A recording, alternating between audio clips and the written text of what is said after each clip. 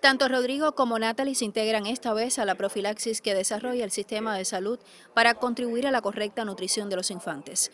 Luego de varios exámenes que incluye el estudio de la hemoglobina, el equipo básico del consultorio médico supervisa otras acciones previas al suministro de este medicamento denominado Chispitas para crecer. Que viene dirigido a niños entre 6 meses y 11 meses, pero estos son de 4 micronutrientes, o sea que contiene vitamina A y C, contiene hierro y contiene ácido fólico, y el de, 6, el de 12 meses a 23 meses contiene 5 micronutrientes que aquí se le agrega el, el, zinc. Se le hace como una pequeña consulta al niño para ver en qué condiciones está en estos momentos, si el niño está sanito, si el niño no padece ninguna virosis u otro proceso infeccioso, para entonces la administración del, del medicamento. Una experiencia similar con el empleo de otro suplemento nutricional se desarrolló el pasado año, el cual tuvo un impacto favorable en la población infantil que lo recibió. Teniendo en cuenta de que ninguno de esos niños, o sea, tuvo cifras de hemoglobina eh, por debajo de la que, de la que inicialmente eh, se, se, contactó en el momento que, comenzaron a administrar los polvos. Eh, las madres reportaron un, niño más activo, incluso con, el, apetito aumentado.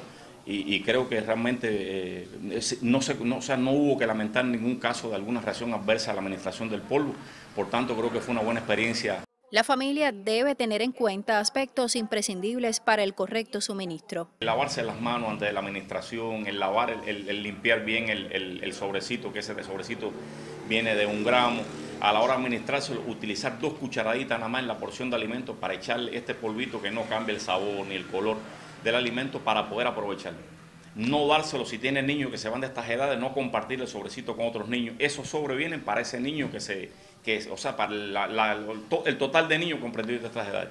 Por supuesto, para la profilaxis contra la anemia en niños menores de 5 años, pero nosotros vamos a trabajarlo en toda la provincia y en el país se va a trabajar hasta los 23 meses. Contiene muchas cosas buenas para el niño, hierro, eh, me le puede abrir hasta el apetito.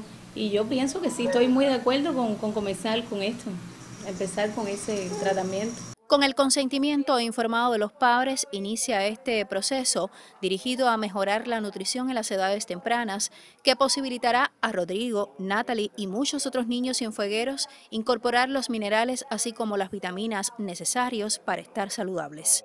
Mayelín del Sol, Notisur.